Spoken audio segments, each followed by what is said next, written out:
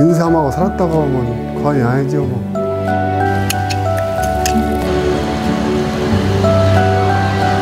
우리 아들이 어쨌든 잘해요. 열심히 하고 성실히 하니까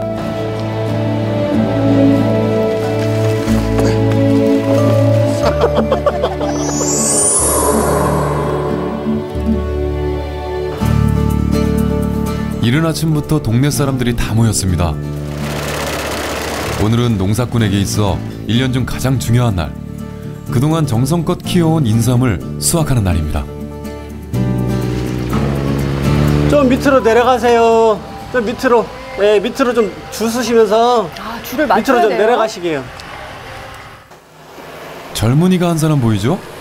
나이 많은 사람들을 다루는 모습도 전체를 지휘하는 모습도 익숙합니다. 근데 왜 이렇게 막 옮기시는 거예요? 아, 지금 너무 붙어 있으면은 한쪽만 너무 계속 몰리니까 이 분배를 잘 해야 줍는 것도 같이 잘 죽거든요. 아들입니다.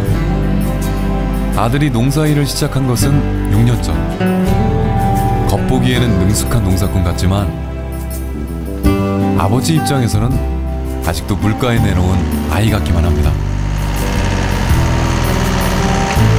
우리 아들요. 그런 게 100점은 안 되고요. 한 7, 80점 될 테죠, 지금. 제 생각에는 100% 미치지는 못하지요. 그처럼 열심히 하고 성실히 하니까 든든하지요. 근데 이제 힘들고 할 때는 좀 마음 뭐랄까요. 좀 애틋한 마음이 있죠. 아직 자식이기 때문에. 갖다 드릴게. 하여 올라가. 오늘따라 아들은 유난히 열심입니다. 그도 그럴 것이 올해 수확은 아들에게 특별한 의미가 있습니다. 저 여기가 거의 이제 처음 시작할 때 심은 거거든요. 저일 시작할 때 처음 할 때 이제 같이 심었던 거. 그래서 좀 좋죠 뭐.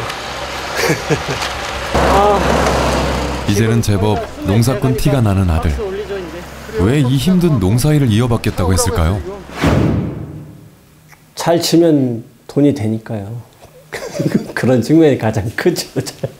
근데 이제 제가 어려서부터 이렇게 같이 간접적으로 계속 배웠던 일이고 우리 집에서 먼저 시작했던 일을 먼저 배우고 다른 거 시작해도 그때 가서 또 안 늦을 것 같아서 이 일을 선택하게 됐죠. 오후가 되니 슬슬 수확도 끝나갑니다. 부자가 처음으로 함께한 농사, 그 결실을 함께 볼 수 있다는 게 생각보다 정말 기분이 좋네요. 든든하죠, 뭐. 한다고 하니까 같이. 같이 누군가 할 수 있다는 게 중요하지. 근데 그것도 아닌 자식이 또 같이 하니까 마음적으로 편하지요. 뭐. 대- 잘 됐건 못 됐건 간에 6, 7년 동안 고생한 것이 고스란히 여기에 남잖아요. 이젠 아들 없이 일한다는 건 생각도 할 수 없게 됐습니다. 저도 이제 인삼 농사를 제가 이렇게 혼자 했다는 생각을 안 하거든요. 여러 사람이 도와주고 가족도 지지가 있고 협조해 주는 사람도 있고 참여해 주는 사람이 있기 때문에 함께 지은 농사의 결실을 더 많은 사람들에게 돌려주고 싶어 약속 한 가지를 했습니다. 1억 이상의 기부를 하겠다고. 35년 전 혈혈단신으로 이곳에 와서 가족을 이루고 살기까지 풍족했던 적보다 어려웠던 적이 더 많았습니다. 그래서 오히려 나눔이 당연했는지도 모르겠습니다. 20년 전 되죠. 그때 어려- 어려운 사였지만은 그 우리 식구들이 모인 제- 돼지 동장이 있었는데요.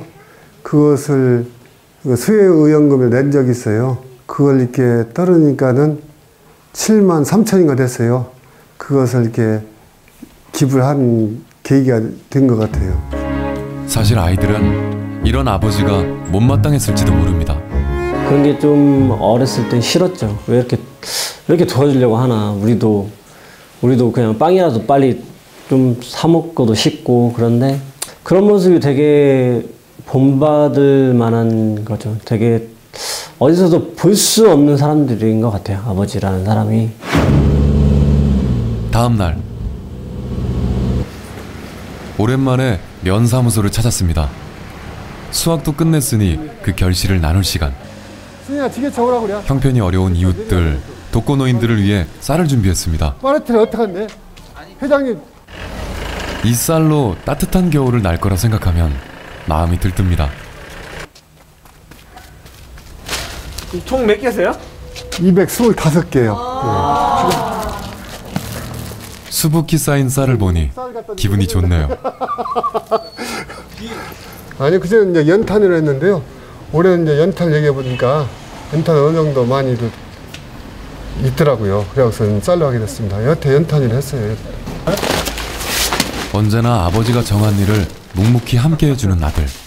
가끔은 이 녀석의 속마음이 궁금합니다.